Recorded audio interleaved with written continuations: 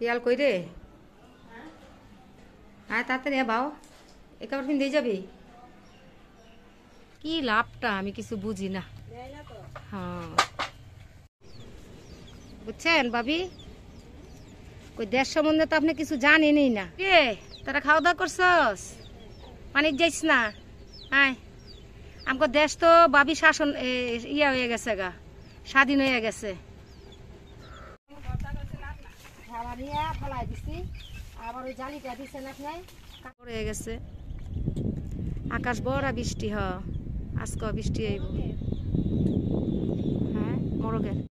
আমি আরেকটু আগে এলে মনে বকটা আমি দেখতে পারতাম। বকটা কাটছে একলা একলা। আরে আমি দেখলে বকটা আমার সামনে কাটতো রে ভাবি। আজকে বগের গোস খাওয়াইবো আমার ভাই বউ কয়। আজকে থাকেন বগের গোস রান্না করে খাওয়াই দিব। আমার রান্না কেটা খাইবো আপনি? আমরা তো জানি না। আমি খাওয়াই যাই বগের পাকটা দিই বগের পাক এটা। আসসালামু আলাইকুম আপু ভাইয়ারা আশা করি ভালো আছো তোমরা ভালো থাকো দোয়া করি। আজকে আসছি বগের গোস্ত দেখাইতে তোমাদেরকেও দেখাবো আমিও দেখব। বগ ডাক দেখছি কখনো গোস দেখি নাই ভাবি রেডি করতেছে রান্না সেটা একটু দেখাই। বৃষ্টি আইতাছে বৃষ্টির আগে বগের গোস ছিলেন নাই হাঁসের মতো? কি? সুন্দর আবার রানটা তো ভালোই। জামাই জামাই সাদর করতে পারতেন? জামাই সাদরের বক। এই জীবনে প্রথম বগের গুস্ত দেখলাম আমি। ভালোই। কি সুন্দর দেখছেন?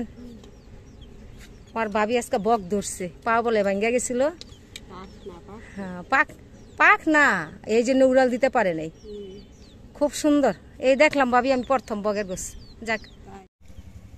আমি আমি বগের গোস, ডাকের গোস কোনো দিনও দেখি নাই। বক ডাক তো এমনি দেখছি ভাবি কই, এমনি তো দেখছি ওই।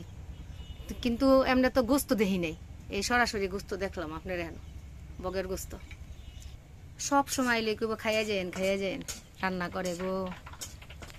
আল্লাহর কাছে এই শুক্রিয়া আদায় করি, বলাটাই। বগের মাংস। আজকে আমার ভাবি বগের মাংস খাইব। আর আইলে কেউ খাইয়ে যেন খাইয়ে যেন মরিচ কম দিছেন তো। মরিচ দেন নাই কে? বগের মাংসত মরিচ দেন। এত জাল খাইবেন? ভালো লাগতো না না?